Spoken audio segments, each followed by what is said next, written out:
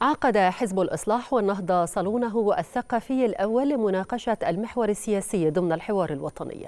ناقش الصالون أهم الملفات المطروحة من الحزب في الحوار الوطني في إطار تخصصات اللجان النوعية التي أقرها مجلس أمناء الحوار الوطني لمحاور رئيسية الثلاثة ومن أهمها المحور السياسي وحقوق الإنسان.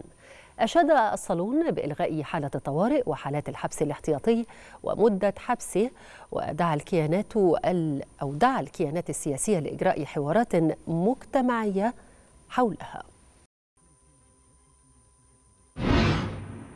بالفعل الصالون بالفعل ناقش ملفات يعني مهمة جدا فيما يتعلق حقوق الإنسان في مصر خاصة إحنا بنتكلم عن الجزء التنفيذي لأن إحنا الدولة المصرية المجتمع المصري ومؤسسة المجتمع المدني أطلقت الاستراتيجية الوطنية لحقوق الإنسان وكانت بدأت من 2021 2026 فاحنا النهارده بنتكلم عن سنة.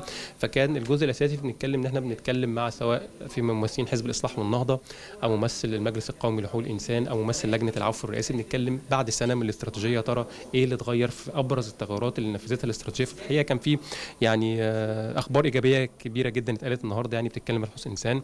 كان من أبرزها قضية التعامل مع المنظمات الدولية في ملف حقوق الإنسان وإن بالفعل الدولة المصرية زي ما اتقال النهارده من المنظمات حقوق الإنسان هي بالفعل استجابت لاكثر من 80% من الملاحظات اللي بالفعل كانت موجهة من المجتمع الدولي. فده بيدل على إن إحنا فعلا أحرزنا تقدم في ملف حقوق الإنسان. ده كان جزء إيجابي. اعتبار قضية حقوق الإنسان قضية أساسية قضية مصيرية للدولة المصرية.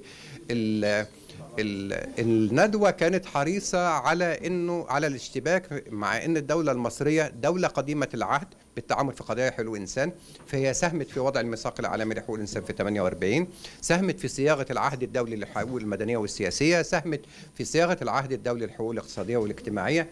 إن الدولة المصرية من 2018 أعلنت أن الجمهورية الجديدة جمهورية حقوقية بالطراز الأول. وكان من الحاجات المهمة اللي خرجنا بيها إن هو لابد من المتابعة الدورية في في الملف بحيث إن يكون في كل ثلاث شهور وكل سنة لابد أن يكون في تقرير تقرير عام لما وصلنا فيه من خلال الاستراتيجية. كان برضه في توصية إن هي لابد إن يكون في آليات واضحة لتطبيق الاستراتيجية بحيث إن إحنا نقدر نتابع عليها وفي معايير يمكن تقييمها والرقابة عليها وتقديمها للراي العام. الاحزاب السياسيه واحدة من أهم مؤسسات منظمات المجتمع المدني ليها دور كبير جدا في تفعيل الاستراتيجيات الوطنية المختلفة ومن ضمنها الاستراتيجية الوطنية لحقوق الإنسان. الدور ده مش بس على الدولة المصرية أو المجلس القومي لحقوق الإنسان أو غيرها من المؤسسات الرسمية أو شبه الرسمية لكن في دور كبير على الأحزاب السياسية. خاصة إن الاستراتيجية نفسها في المحور الرابع فيها بتتكلم على التثقيف وبناء القدرات.